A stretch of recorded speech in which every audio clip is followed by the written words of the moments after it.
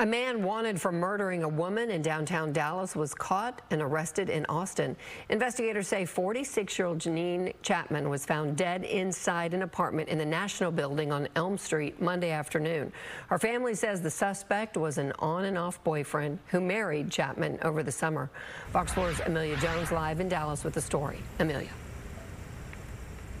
Heather, Jeanean Chapman's sisters described her as fierce, loving, and ambition. Her murder blindsided them, especially since the suspect was a man who was so close to their sister.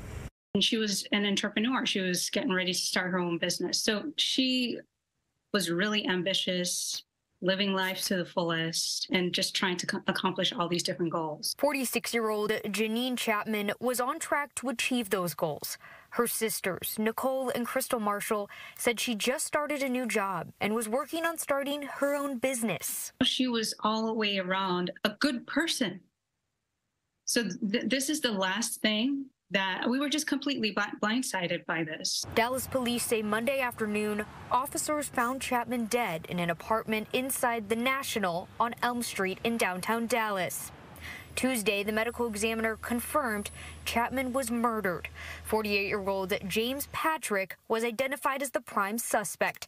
Her sisters confirm the two were together on and off for six years in the last year or so, the relationship got really rocky. Marshall says that Chapman moved from California to Texas five months ago, since this is Patrick's home state. The two got married in July, but the family didn't attend. That's why I use the word blindsided, because we did not see this coming. We knew that they had arguments, and that's typical in relationships.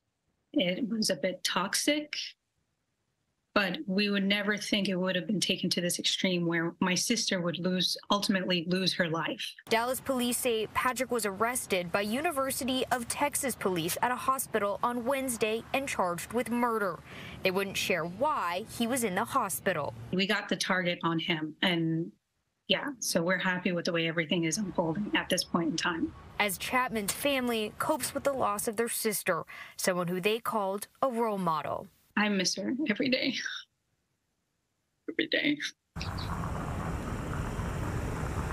Patrick is currently being held at the Travis County Jail. He does have a criminal history, including a terroristic threat charge out of Dallas County from 1993 that was dismissed, and also a theft charge out of Travis County, also dismissed. No word yet on when he'll be transported back to the Dallas County Jail.